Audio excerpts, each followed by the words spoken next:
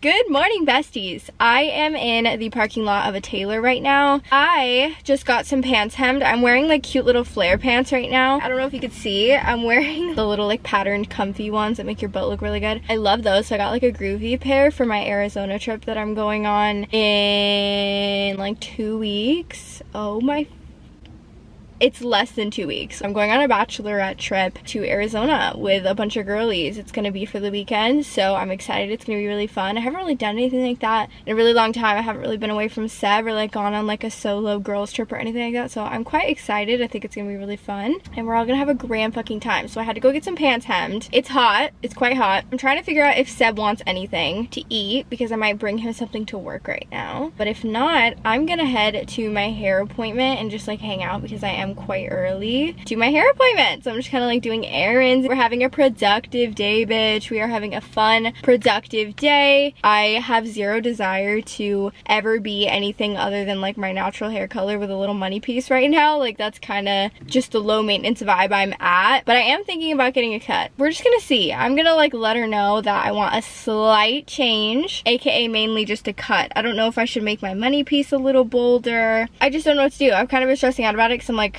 I don't want to like regret it because, you know, spending money on anything you regret, especially in this freaking economy, is not fun, you know? What do I do? What do I do? But it's also annoying in the shower. Like, you guys get me. It's just like, long hair is so nice, but it just gets annoying. I have to put it in like a braid or a ponytail every night because it like goes all over the place.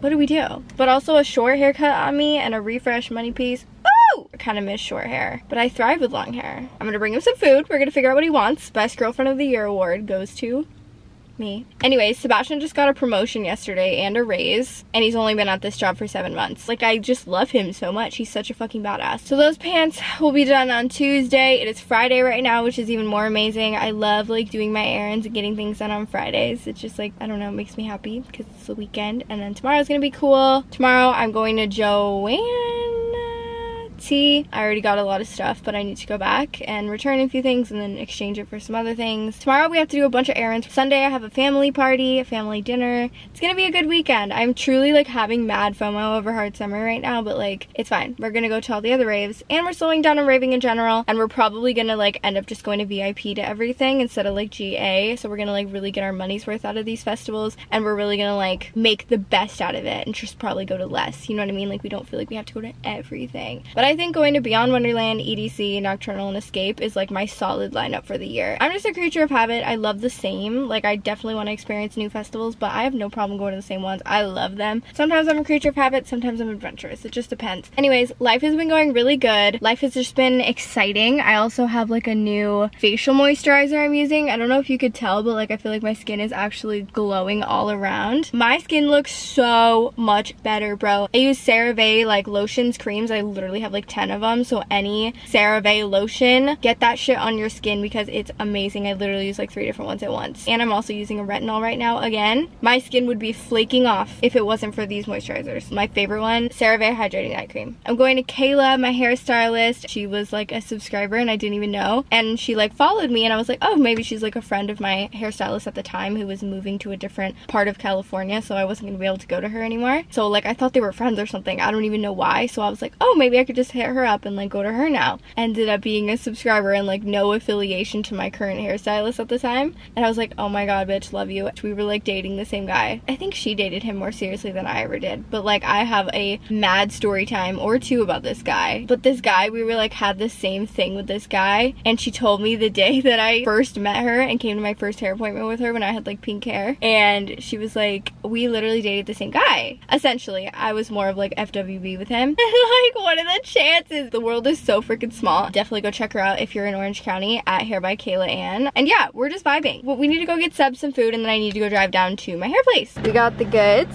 and we're bringing this all to Seb. It was literally so hard to not get anything for myself, but I'm trying to be really good right now and break through my plateau. So that is all for Seb. We're gonna go take that to his work right now. I was way too lenient the last like month and I feel like I was not being really good with like my gut health. So I'm just trying to be like extra freaking good or else I totally would have gotten a bagel or burrito or whatever. We're just getting that for Seb today.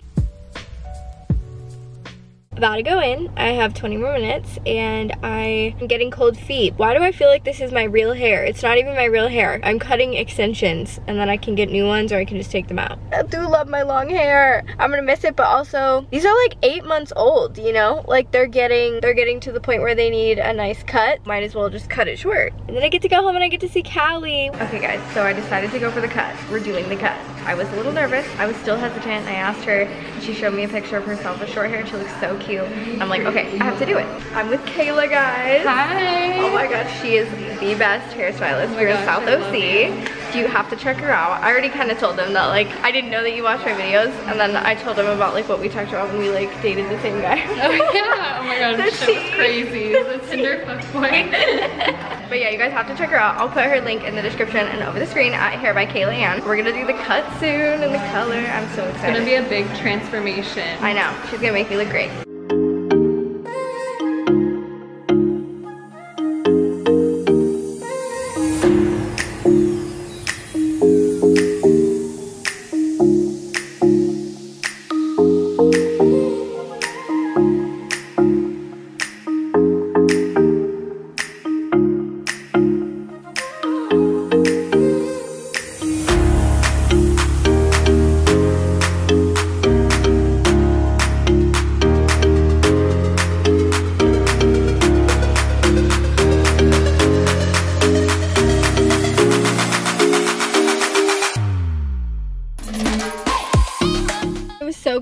Kayla and her assistant is always so sweet. I love talking with them. I was feeling a lot more talkative today than usual, so it was like a really good time to see what was going on with them. This is like short and thick, bruh, just like me. I'm here for it. We got the money piece touched up. It looks so good. Oh my god. Like if you don't go to Kayla, what are you doing? If you live in South OC, I'm serious, go check her out. It's such a cute little quaint salon. Like the parking lot is always like chill. It's not busy. I love it down here. I love it. We have short hair. Ah!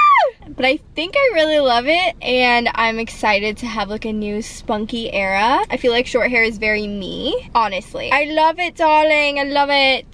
I feel like just different hairstyles are gonna look like extra cute on me now. Look at that tiny ponytail, bitch. I'm so excited. This was not in my cards. Like I didn't think that I was gonna be cutting my hair anytime soon and here we are. Like never, never thought I was gonna have short hair. Life comes at you fast. I love my hair. What do you think of it? Do you guys think I rock the short hair with my outfit? Oh my god, this is such a vibe. I have to take an Insta today. I need an Insta today. It's not a question. It is happening. Gosh, she's so excited. Hi, honey. This love, coming home to this love is like the best thing in the whole world. I'm never not having this length. This is an amazing length for me. Anyways, I just filmed some such cute TikToks. I'm so excited, very productive. I asked Seb if we could take a Instagram later when he's off work, so he's gonna do that for me. Ah! Like in my last video, I was like, why do I force my boyfriend to take pictures? But then sometimes you just look cute enough where you just need your boyfriend to take that Instagram pic. I literally haven't posted on Instagram since like June. Anyways, look how cute my TikToks are that I just took. Okay, tell me these aren't so cute.